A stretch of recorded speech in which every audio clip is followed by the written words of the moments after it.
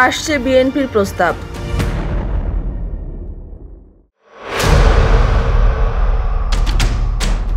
রাষ্ট্র মেরামতে নতুন করে সংস্কার প্রস্তাব দেবে বিএনপি। দু হাজার তেইশ সালের জুলাই মাসে একত্রিশ দফা সংস্কার প্রস্তাব ঘোষণা করা হয়েছিল দলটির পক্ষ থেকে।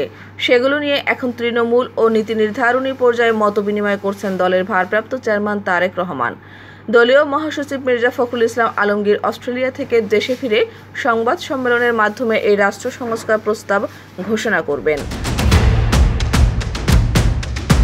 দলীয় সূত্রে জানা গেছে, এই প্রস্তাব সারা দেশে প্রচার করা হবে। লিফলেট, বুকলেট সহ সামাজিক যোগাযোগ মাধ্যমে বিভিন্ন শ্রেণি পেশার মানুষের কাছে প্রস্তাবগুলো তুলে ধরা হবে। এজন্য চলছে ব্যাপক প্রস্তুতি। তারেক রহমান বিশ্বাস করেন এই রাষ্ট্রের মালিক জনগণ। সুতরাং জনগণের অংশগ্রহণ ও মতামতের ভিত্তিতেই আগামী দিনে বিএনপি সব কার্যক্রম গ্রহণ করবে। দলীয় সূত্র জানায়, ভারপ্রাপ্ত চেয়ারম্যান তারেক রহমান প্রায় প্রতিদিনই মাঠ পর্যায় থেকে শুরু করে জেলা বিভাগ ও কেন্দ্রীয় নেতাদের সঙ্গে মতবিনিময় করছেন। এ কর্মসূচির আওতায় জনগণকে কীভাবে আরও সম্পৃক্ত করা যায়, সেসব বিষয় নিয়ে তিনি দিক নির্দেশনা দিচ্ছেন। এই প্রস্তাবের উল্লেখযোগ্য বিষয়গুলো হলো, প্রতিটি মানুষের মৌলিক অধিকার নিশ্চিত করা, ভোটাধিকার প্রতিষ্ঠা, বাক স্বাধীনতা শিক্ষা ব্যবস্থা, শিল্পকে শ্রমঘন করা, রাজনৈতিক সংঘাত চিরতরে বন্ধ করা। এছাড়া রাষ্ট্র মেরামত তথা সংস্কারের সব বিষয় এতে অন্তর্ভুক্ত থাকবে। বাংলাদেশে আর কখনো যেন রাজনৈতিক সংঘাত, কর্তৃত্ববাদী শাসন, বিচার বিভাগ, নিয়ন্ত্রণ ও গণতান্ত্রিক প্রতিষ্ঠানগুলো নষ্ট করার সুযোগ ভবিষ্যতে কেউ না পায়, রাষ্ট্র সংস্কারের প্রস্তাবে সেই বিষয়গুলো থাকবে। ইতিপূর্বে বিএনপি ঘোষিত একত্রিশ দফা সংস্কার প্রস্তাবে আরও সংযোজন, বিয়োজন ও পুনর্বিন্যাসের মাধ্যমে এবারের এই রাষ্ট্র সংস্কার প্রস্তাব আনা হচ্ছে। সাধারণ মানুষের কাছে লিফলেট আকারে মহিলাদের জন্য আলাদা করে এবং ডিপ্লোম্যাটদের জন্য বুকলেট তৈরি করে সরবরাহ করা হবে।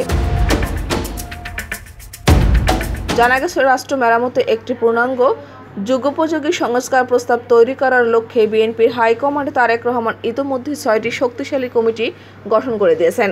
কমিটিগুলো তাদের কার্যক্রম অব্যাহত রেখেছেন। কমিটির কার্যক্রম শেষ হওয়ার পর সেগুলোকে একত্রিত করে প্রস্তুত করা হবে দলের পূর্ণাঙ্গ সংস্কার প্রস্তাব। এরপর তা জনসম্মুখে প্রকাশের পাশাপাশি অন্তর্বর্তী সরকারের প্রধানসহ সরকারের ছয়টি সংস্কার কমিশনের কাছে উপস্থাপন করা হবে। ছয়টি কমিটির মধ্যে সংবিধান পুনর্গঠন কমিটির আহ্বায়ক করা হয়েছে। স্থায়ী কমিটির সদস্য ডক্টর খন্দকার মোশাররফ হোসেনকে। সদস্য হিসেবে আছেন স্থায়ী কমিটির সদস্য Salauddin Ahmed, barrister Naushad Zamir, barrister Kaiser Kamal, barrister Ruhul Quddus Kajal, অধ্যাপক বোরহান উদ্দিন, অধ্যাপক ডক্টর মাহফুজুল হক সুপন ও অধ্যাপক ডক্টর নাজমুল জামান ভুইয়া ইমন। বিচার বিভাগ সংস্কার কমিটির আহ্বায়ক করা হয়েছে স্থায়ী কমিটির সদস্য ব্যারিস্টার জমির উদ্দিন সরকারকে।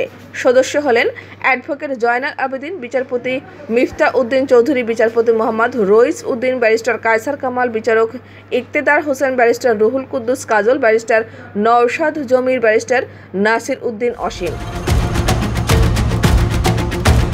Police বিভাগ সংস্কার কমিটির আহ্বায়ক হয়েছেন স্থায়ী কমিটির সদস্য মেজর অবসরপ্রাপ্ত হাফিজ উদ্দিন আহমেদ বীর বিক্রম, সদস্য হোসেন সাবেক স্বরাষ্ট্র সচিব জহিরুল ইসলাম, সাবেক আইজিপি আব্দুল কায়ুম সাবেক ডিআইজি খোদা বক্স ও সাবেক ডিআইজি খান সাইদ হাসান।